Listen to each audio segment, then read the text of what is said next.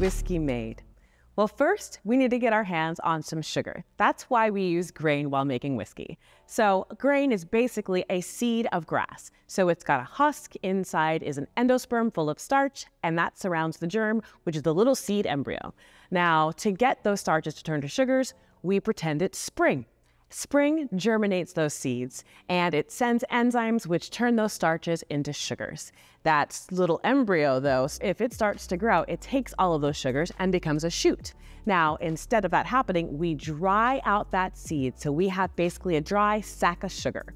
We dry that seed out and then we take it and we grind it. So we grind that up. That exposes all of the inside of that seed and gives us a nice flour full of starches and sugars. Now we put that in a lot of hot water and we let that hot water break apart those starches and soften them. And they go from being little soft pockets into big long strings of gelatinous starch. Now, from that point, your enzymes can go crazy. What do enzymes do? Well, they go in and they cut the starches into little bitty sugars. Now those little sugars get eaten by yeast, so that's great. So we've got our gelatinization, which is those starches opening up, and our saccharification, which is those starches turning to sugars. Now we've got this sugary water, so we send it over to our fermentation tank.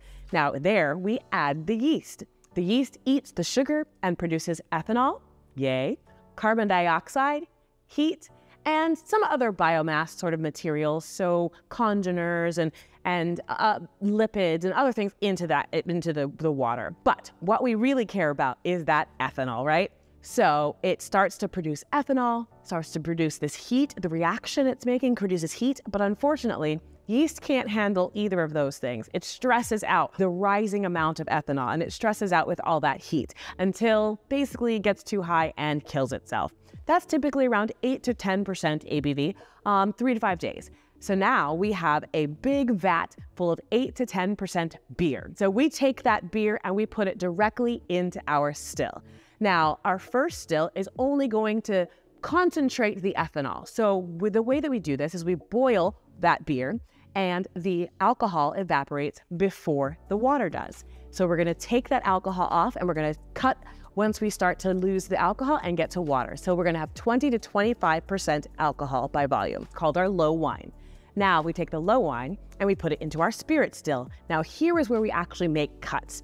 As we're distilling, some of the flavors and alcohols that come off first are actually a little bit more astringent. They're going to be more solventy. So those are our heads, and we're going to make sure to cut those first and take those away. Then we're going to come to our hearts. That is our spirit, that is our ethanol, and we're going to keep that. Now, as we start to go further down our run, the temperatures are increasing, and we're going to start to get heavy, oily fusels. So those we don't want, mushroomy, earthy flavors, um, and an oily texture. So those are our tails. So we'll take the heads and tails off. We'll keep that heart. We have our nice, clear new make, and we're going to put that, probably 60 to 80% alcohol, and we're going to put that into a barrel. Now, why are we putting it into a barrel? Well, we use oak, which typically gives us really nice flavors. Now, we toast and char that oak and give us some color. It'll give us some caramel, some sugars, some really wonderful flavors. Now, while it's aging in that oak, it's going to pull extractives from the barrel. Now, also while it's sitting there, we're going to get some evaporation. Now, this is called our angel share. When you're in a warm environment, you're going to get a higher angel share, 7 to 10%. Some, if you're in Kentucky, if you're in the islands, if you're in Texas. And if you're in Scotland, it'd be about 1.5 to 2%. So less percentage is evaporating off a year. Now, we donate this to the angels, we say, in order to be able to keep our delicious whiskey.